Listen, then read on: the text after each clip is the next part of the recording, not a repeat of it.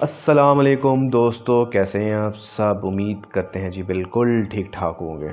दोस्तों, आर्यन ख़ान को जब से गिरफ़्तार किया गया है, तब से अब तक जो जो उनके केस के हवाले से अपडेट होती जा रही है, हम अपने चैनल के थ्रू आप तक पहुंचाते रहे हैं। और ये भी आपको बताते रहे हैं कि आर्यन ख़ान का जो केस है, वो किस हद तक जा रहा है और किस नोयत का केस है। आर्यन ख़ान को 20 अक्टूबर को अदालत में पेश होना था और उनको पेश किया गया। लेकिन एक दफ़ा फिर उनको ज़मानत नहीं मिली, उनको घर जाने की इजाज़त नहीं मिली।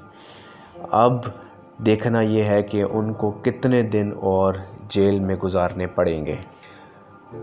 वीडियो के ऊपर डिस्कशन तो चलती रहेगी। अगर आपको हमारा चैनल अच्छा लग रहा है, हमारी वीडियोस अच्छी लग रही हैं, आपसे दरख्वास्त है कि हमारे चैनल को लाइक करें, सब्सक्राइब करें और फैक्ट 2.0 को सब्सक्राइब करना मत भूलिएगा। दोस्तों, मुंबई की सेशन अदालत की जानब से क्रूज़ शिप ड्रग केस में नामजद मुलजिम आर्यान ख़ान, जो शाहरुख ख़ान के और गौरी ख़ान के बेटे हैं, और अरबाज मर्चेंट और ममनून डमेचा की ज़मानतें जो हैं, मुस्तरद कर दी गई हैं। और मीडिया रिपोर्ट्स के मुताबिक, जो आर्यान ख़ान हैं, उनको ज़मानत नहीं हुई उनकी, उनको रिहाई नहीं मिल सकी। और अब ये देखना है कि उन्हें कितने दिन और जेल में गुजारना पड़ सकते हैं। लेकिन जितने दिन ऊपर जाते जा रहे हैं, आर्यन खान के लिए मुश्किल बढ़ती जा रही है, शाहरुख खान के लिए मुश्किल बढ़ती जा रही हैं, और साथ साथ बाकी दो खान्स के लिए मसले बढ़ते जा रहे हैं। लेकिन अब ये देखना ये है कि आर्यन खान को कितने दिन और जेल में गुजारना पड़ सकते हैं। शाहरुख खान ने बड़े ज़बरदस्त किस्म के वकीलों को हायर किया है, और दुनिया के इवन इंडिया के जो टॉप क्लास के वकील हैं उनको आर्यन ख़ान की रिहाई के लिए सौंपी हैं ज़िम्मेदारियाँ, लेकिन वो भी कुछ कर नहीं पा रहे हैं अभी तक। और उनके वकीलों का ये कहना है, अब वो ज़मानत के लिए मुंबई की हाई कोर्ट, जो मुंबई की सबसे बड़ी कोर्ट है उससे रुजू करेंगे। इस पूरे केस में जब से 2 अक्टूबर से केस स्टार्ट हुआ है 18 दिन इस केस को गुजर गए हैं। इसमें बड़ी अप्स एंड डाउन्स आई हैं, इसमें बड़े इंकशाफात हुए हैं, इसमें कुछ इंकशाफात ऐसे हैं जो जिनका कोई जिनको हम सच भी समझ सकते हैं और जिनको हम झूठ भी समझ सकते हैं।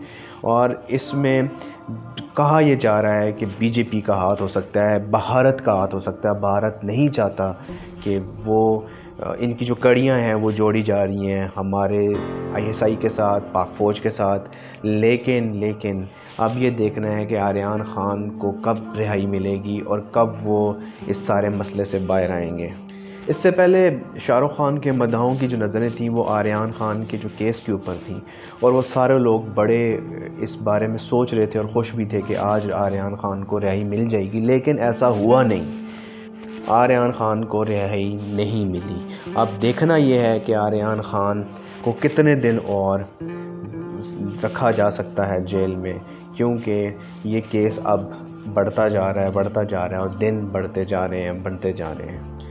इससे पहले शाहरुख ख़ान ये सोच रहे थे और गौरी ख़ान ये सोच रहे थे, अगर उनके बेटे को रिहाई मिल जाती है, वो अपने बेटे को दो तीन महीने के लिए मंजर आम से गायब कर देंगे, उन्हें किसी दूसरे मुल्क भेज देंगे।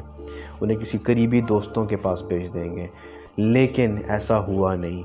लेकिन ऐसा हुआ नहीं और आर्यन ख़ान को रिहाई नहीं मिली। लेकिन इस पूरे सारे केस में एक चीज़ बड़ी कॉमन है, एक चीज़ बड़ी देखी जा रही है। आर्यन ख़ान के जो वालद हैं शाहरुख ख़ान और उनकी जो वालदा हैं गौरी ख़ान, उनको अभी तक इस बात का कंफर्मेशन ही नहीं है कि उनका बेटा कसूरवार है या नहीं या उनको फंसाया जा रहा है। लेकिन वो दोनों ये चाहते हैं, इस चीज़ के ख्वाहिशमंद हैं कि उनके बेटे को जल्द से जल्द रिहाई मिल जाए। लेकिन उम्मीद ये की जा रही है, अगर उनको रिहाई मिल जाती है आज तो शाहरुख खान ने चंद माह के लिए अपने बेटे को अंडरग्राउंड कर देना था, जो कि आज नहीं हो सका। लेकिन इस सारे केस में बीजेपी का बड़ा रोल है इंडियन गवर्नमेंट का बड़ा रोल है। इंडियन गवर्नमेंट नहीं चाहती कि मुसलमान आगे आएँ। इंडियन गवर्नमेंट नहीं चाहती कि मुसलमानों के मसाइल काम हों। इंडियन गवर्नमेंट नहीं चाहती कि मुसलमान बॉलीवुड के ऊपर या भारत के बाकी इदारों के ऊपर अपनी हुकूमत करें। क्योंकि बीजेपी इसी फार्मूले के तहत अपनी हुकूमत चला रही है कि वो मुसलमानों के लिए मसले दिन ब दिन बनाएँगे। लेकिन अब ये देखना ये है कि शाहरुख खान के बेटे को कब रहाई मिलती है। और वो कब जो है खैर वफियत घर आ सकते हैं। हमारे चैनल को सब्सक्राइब करें, बेल आइकन को दबा दें और ताकि आपको हर आने वाली वीडियो के बारे में अपडेट्स मिलती रहें। बहुत शुक्रिया।